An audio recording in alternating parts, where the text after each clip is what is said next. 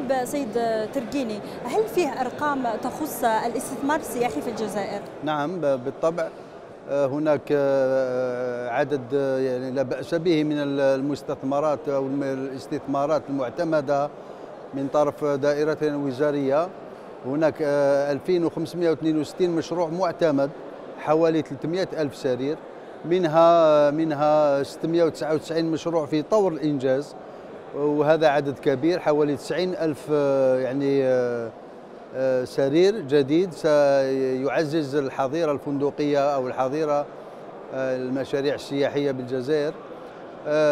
لكن هذه الاستثمارات تجد صعوبة في تجسيدها نظرا ل يعني قضية التمويل أو إشكالية التمويل والتي طرحت اليوم يعني في هذا الملتقى حتى نجد الحلول ونرافق المستثمرين لتجسيد مشاريعهم.